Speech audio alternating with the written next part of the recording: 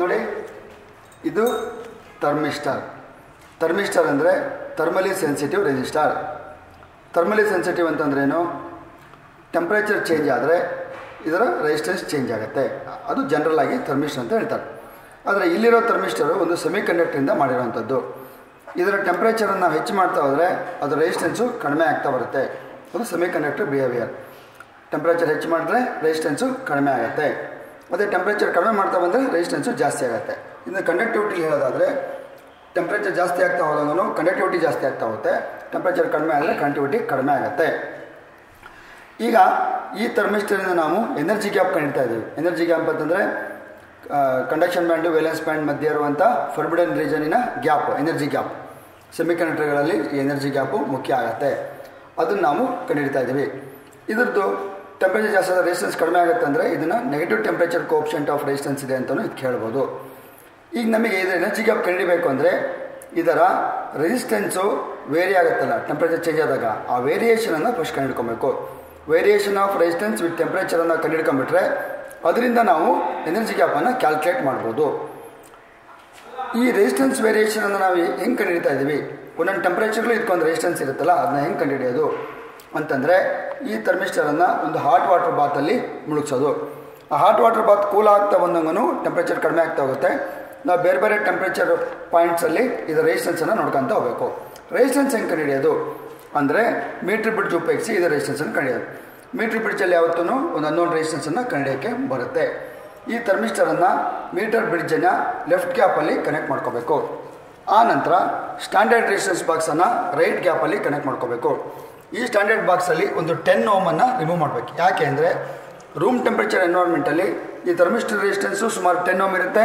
ಇದ್ರದ್ದು resistance ten ohm ಇತ್ತು ಅಂದರೆ ಮುಂದೆ ನಮಗೆ balancing point middle of the ಬ್ರಿಡ್ಜಲ್ಲೇ ಸಿಗುತ್ತೆ. ಟೆನ್ ಓಮ್ ರಿಮೂವ್ ಮಾಡಿದ್ದಾಯಿತು. ಈಗ ಬ್ಯಾಟ್ರಿ ಪಾಸಿಟಿವನ್ನು ಲೆಫ್ಟ್ ಗ್ಯಾಪಿಗೆ ಕನೆಕ್ಟ್ ಮಾಡಬೇಕು. ಬ್ಯಾಟ್ರಿ ನೆಗೆಟಿವನ್ನು ರೈಟ್ ಗ್ಯಾಪಿಗೆ ಕನೆಕ್ಟ್ ಮಾಡಬೇಕು. ಆಮೇಲೆ ಈ ಸ್ಟ್ರಿಪ್ಸ್ ಎಲ್ಲ ಫರ್ಮಾಗಿ ಕನೆಕ್ಟ್ ಆಗಿರಬೇಕು. ಸ್ಕ್ರೂಸ್ ಎಲ್ಲ ಕ್ಲೀನಾಗಿ ಟೈಟ್ ಮಾಡ್ಕೋಬೇಕು. ಮಧ್ಯದಿಂದ ಗ್ಯಾಲೋಮೀಟ್ರಿಗೆ ಗ್ಯಾಲೋಮೀಟ್ರಿಂದ ಸ್ವಲ್ಪ ಉದ್ದ ವೈರ್ ಹಾಕಿ ಸ್ಲೈಡಿಂಗ್ ಕಾಂಟ್ಯಾಕ್ಟ್ಗೆ ಕನೆಕ್ಷನ್ ಕೊಟ್ಟು ಇಟ್ಕೊಬೇಕು. ಈಗ ಇಲ್ಲಿ ಟೆನ್ ಓಮ್ ತೆಗೆದಿದ್ದೀವಿ. ಈ ಕಡೆ ಥರ್ಮಿಸ್ಟರ್ ಇದೆ. ಬ್ಯಾಲೆನ್ಸು ನಾವು ಚೆಕ್ ಮಾಡ್ಬೋದು ಈಗ. ಬ್ಯಾಲೆನ್ಸಿಂಗ್ ಪಾಯಿಂಟ್ ಏನು ಬೇಡ ಈಗ. ಬಟ್ ಕನೆಕ್ಷನ್ಸ್ ಎಲ್ಲ ಕರೆಕ್ಟಾಗಿದೆ ಅಂತ ಗೊತ್ತಾಗೋದು ಹೆಂಗೆ ಅಂದರೆ ಸ್ಲೈಡಿಂಗ್ ಕಾಂಟ್ಯಾಕ್ಟನ್ನು ಬ್ರಿಡ್ಜಿನ ಲೆಫ್ಟ್ ಹ್ಯಾಂಡಿಗೆ ಪ್ರೆಸ್ ಮಾಡಬೇಕು. ಆವಾಗ ಗ್ಯಾಲೋಮೀಟರ್ ಒಂದು ಕಡೆ ಬರುತ್ತೆ. ಯಾವುದೋ ಒಂದು ಕಡೆ ಬರಲಿ ಅದು ಒಂದು ಕಡೆ ಫುಲ್ ಸ್ಕೇಲ್ ಡಿಫ್ಲೆಕ್ಷನ್ ಬರಬೇಕದು. ಫುಲ್ ಸ್ಕೇಲ್ ಡಿಫ್ಲೆಕ್ಷನ್ ಬಂತು. ಇದೇ ಸ್ಲೈಡಿಂಗ್ ಕಾಂಟ್ಯಾಕ್ಟನ್ನು ಮಿಟ್ರ್ ಬಿಟ್ ರೈಟ್ ಹ್ಯಾಂಡಿಗೆ ಪ್ರೆಸ್ ಮಾಡಿದ್ರೆ ಮೊದಲು ಬಂದಿದ್ದಕ್ಕೆ ಆಪೋಸಿಟ್ ಆಗಿ ಫುಲ್ ಸ್ಕೇಲ್ ಡಿಫ್ಲೆಕ್ಷನ್ ಬರಬೇಕು ಪಾಯಿಂಟರು ಗ್ಯಾಲೋಮೀಟ್ರಲ್ಲಿ ಈಗ ಕಾಂಟ್ಯಾಕ್ಟ್ಸ್ ಎಲ್ಲ ಫರ್ಮಾಗಿ ಆಗಿದೆ ಅಂತ ಅರ್ಥ. ಇದಾದ ಮೇಲೆ ನಾವು ನೋಡಿ ಇಲ್ಲಿ ಇಂಡಕ್ಷನ್ ಸ್ಟೋವಿನ ಪವರ್ ಸಪ್ಲೈನ ಆನ್ ಮಾಡ್ಕೋಬೇಕು. ಪವರ್ ಸಪ್ಲೈ ಆನ್ ಮಾಡಿಕೊಂಡು ಒಂದಿಷ್ಟು ನೀರನ್ನು ತಗೊಂಡು ಅದನ್ನು ಇಂಡಕ್ಷನ್ ಸ್ಟವ್ ಮೇಲೆ ಇಡ್ತೀವಿ. ಇಟ್ಬಿಟ್ಟು, ಇಲ್ಲಿ ನೋಡಿ, ಇಲ್ಲಿ ಆನ್ ಆಫ್ ಬಟನ್ ಇದೆ. ಆನ್ ಆಫ್ ಬಟನ್ ಪವರ್ ಬಂದಿರುತ್ತೆ, ಆದರೆ ಸ್ಟವ್ ಕೆಲಸ ಮಾಡ್ತಿರಲ್ಲ. ಈ ಆನ್ ಆಫ್ ಬಟನನ್ನು ಪ್ರೆಸ್ ಮಾಡಿದ್ರೆ ಅದು ವಾಟ್ರು ಹೀಟ್ ಹೀಟಿಂಗು ಶುರು ಆಗುತ್ತೆ. ವಾಟರ್ ಎಲ್ಲಿ ತನಕ ಹೀಟ್ ಆಗಬೇಕು ಅಂದರೆ ಒಂದು ಬಾಯ್ಲಿಂಗ್ ಆಗೋ ತನಕ ಹೀಟ್ ಮಾಡಬೇಕು. ಬಾಯ್ಲ್ ಆಗತ್ತಂದರೆ ಅದು ಸುಮಾರು ಹಂಡ್ರೆಡ್ ಡಿಗ್ರಿ ಹತ್ತತ್ರ ಇರ್ತದೆ.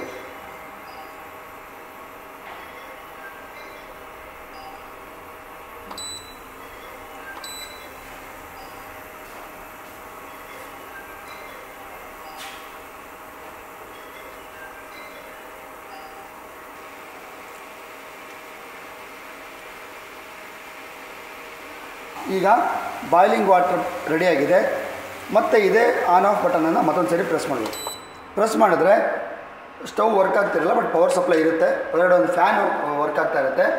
ಹಂಗಾಗಿ ನಾವು ಈಗಲೇ ತಕ್ಷಣ ಕರೆಂಟನ್ನು ಆಫ್ ಮಾಡ್ಬೋದು ಬರೀ ಇದು ಆನ್ ಆಫ್ ಬಟನ್ ಮಾತ್ರ ಪ್ರೆಸ್ ಮಾಡಬೇಕು. ಒಳಗಡೆ ಫ್ಯಾನ್ ರನ್ ಆಗ್ತಾ ಇರಬೇಕು. ಸಡನ್ನಾಗಿ ಪವರ್ ಸಪ್ಲೈ ಆಫ್ ಮಾಡಿದ್ರೆ ಈ ಸ್ಟೌವಿನ ಕಾಯಿಲ್ ಹೊರಟೋಗುತ್ತೆ. ಈಗ ಈ ಬಾಯ್ಲ್ ವಾಟ್ರನ್ನ ಏನು ಮಾಡಬೇಕು? ಈ ಬೀಕರಿಗೆ ಪೋರ್ ಮಾಡಿ. ಈಗ ನಮ್ಮ ಥರ್ಮಿಸ್ಟರು ಒಂದು ಹಾಟ್ ವಾಟರ್ ಬಾತಲ್ಲಿ ಇಟ್ಟಂಗಾಗಿದೆ.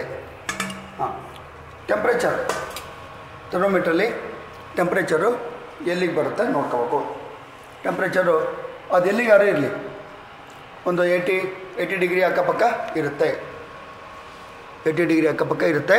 ಹಾಂ, ಈಗ ಆ ಟೆಂಪ್ರೇಚರ್ ಇರಲಿ. ಟೆಂಪ್ರೇಚರ್ ನೋಡ್ಕೊಂಡಿದ್ದೀರಾ?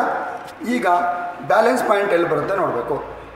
ಅಂದರೆ ಸ್ಲೈಡಿಂಗ್ ಕಾಂಟ್ಯಾಕ್ಟನ್ನು ಬ್ರಿಡ್ಜ್ ಮೇಲೆ ಬ್ರಿಡ್ಜ್ ವೈರ್ ಮೇಲೆ ಪ್ರೆಸ್ ಮಾಡ್ತಾ ಮಾಡ್ತಾ ಹೋಗಿ,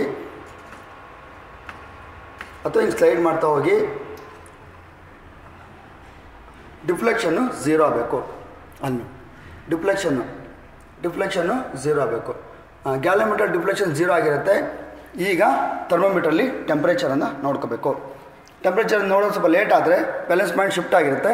ಹಾಗಾಗಿ ಮತ್ತೊಂದು ಸರಿ ಬ್ಯಾಲೆನ್ಸ್ ಪಾಯಿಂಟು ಝೀರೋದಲ್ಲಿ ಇದೆಯಾ? ಇದು ಕ್ಯಾಲೋಮೀಟರ್ ಡಿಪ್ಲೆಷನ್ ಝೀರೋ ಇದೆಯಾ ಅಂತ ಬ್ರಿಡ್ಜ್ ಬ್ಯಾಲೆನ್ಸ್ ಆಗಿದೆಯಾ ಅಂತ ನೋಡಿಕೊಂಡು ಸೈಮಲ್ಟೇನಿಯಸ್ ಆಗಿ ನೋಡಬೇಕು. ಟೆಂಪ್ರೇಚರು ಬ್ಯಾಲೆನ್ಸ್ ಪಾಯಿಂಟು ಎರಡು ನೋಡ್ಕೋಬೇಕು.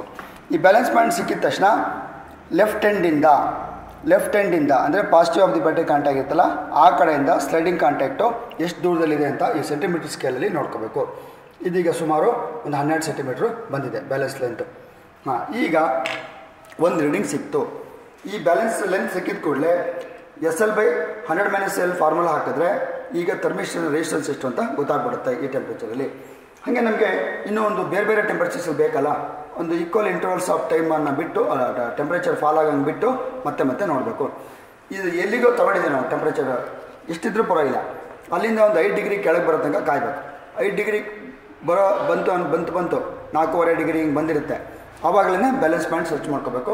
ಆ ನಂತರ ಒಂದು ಐದು ಡಿಗ್ರಿ ಫಾಲ್ ಆದ ತಕ್ಷಣ ಬ್ಯಾಲೆನ್ಸ್ ಪಾಯಿಂಟು ಟೆಂಪ್ರೇಚರ್ ಸೆಮೆಂಟೆನ್ಸ್ ನೋಡ್ಕೋಬೇಕು. ಅಕಸ್ಮಾತ್ ಟೆಂಪ್ರೇಚರ್ ಒನ್ ಡಿಗ್ರಿ ಮಿಸ್ ಆದ್ರೂ ಯಾವ ಟೆಂಪ್ರೇಚರ್ ನೋಡ್ಕೊಂಡಿರ್ತಾರೋ ಅದನ್ನೇ ಬರ್ಕೋಬೇಕು. ನಮಗೆ ಸ್ಟ್ರಿಕ್ಟಾಗಿ ಐದೇ ಡಿಗ್ರಿನೇ ಬೇಕು ಅಂತಿಲ್ಲ. ಯಾವ ಟೆಂಪ್ರೇಚರ್ ಇರುತ್ತೋ ಆ ಟೆಂಪ್ರೇಚರನ್ನು ನೋಡಿಕೊಂಡು ಬ್ಯಾಲೆನ್ಸ್ ಪಾಯಿಂಟನ್ನು ನೋಡ್ಕೋಬೇಕು. ಈ ರೀತಿ ಒಂದು ಆರೇಳು ಅಥವಾ ಒಂದು ಐದಾರು ರೀಡಿಂಗ್ಸನ್ನು ತೊಗೋಬೇಕು. ಬೇರೆ ಬೇರೆ ಟೆಂಪ್ರೇಚರಲ್ಲಿ ಬ್ಯಾಲೆನ್ಸ್ ಪಾಯಿಂಟನ್ನು ನೋಡ್ಕೋಬೇಕು. ಬ್ಯಾಲೆನ್ಸ್ ಲೆಂತ್ ಬರುತ್ತೆ ರೆಸಿಸ್ಟೆನ್ಸ್ ಸಿಗುತ್ತೆ. ಅದು ಸಿಕ್ಕಿದ ನಂತರ ಆಮೇಲೆ ನಾವು log R resistance log R versus one by T temperature should be in kelvin log R versus one by T graph ಹಾಕಬೇಕು. ಗ್ರಾಫ್ ಹಾಕಿದರೆ ನಿಮ್ಗೊಂದು ಸ್ಟ್ರೈಟ್ ಲೈನ್ ಬರುತ್ತೆ. ಆ ಸ್ಟ್ರೈಟ್ ಲೈನ್ ಗ್ರಾಫಲ್ಲಿ ಸ್ಲೋಪನ್ನು ಕಂಡುಹಿಡ್ಕೋಬೇಕು. ಆ ಸ್ಲೋಪನ್ನು ಕಂಡುಹಿಡ್ಕೊಂಡ ನಂತರ ಸ್ಲೋಪನ್ನು ಕಂಡುಹಿಡ್ಕೊಂಡ ನಂತರ ನಮ್ಮ ಹತ್ರ ರೇ ಎನರ್ಜಿ ಗ್ಯಾಪ್ ಕಂಡುಹಿಡಿಯೋದಕ್ಕೆ ಡೈರೆಕ್ಟ್ ಫಾರ್ಮುಲಾ ಇದೆ. ಈ ಫಾರ್ಮುಲಾದಲ್ಲಿ ಇಲ್ಲಿ ನೀವು ಸ್ಲೋಪ್ ವ್ಯಾಲ್ಯೂ ಇನ್ಸರ್ಟ್ ಮಾಡಿದ್ರೆ ಕ್ಯಾಲ್ಕುಲೇಷನ್ ಮಾಡಿದಾಗ ಎನರ್ಜಿ ಗ್ಯಾಪು ಬರುತ್ತೆ. ಈಗ ಎನರ್ಜಿ ಗ್ಯಾಪ್ ಬಂದ ನಂತರ ಆ ಎನರ್ಜಿ ಗ್ಯಾಪು ಮೊದಲಿಗೆ ಜೌಲಲ್ಲಿ ಬರುತ್ತೆ.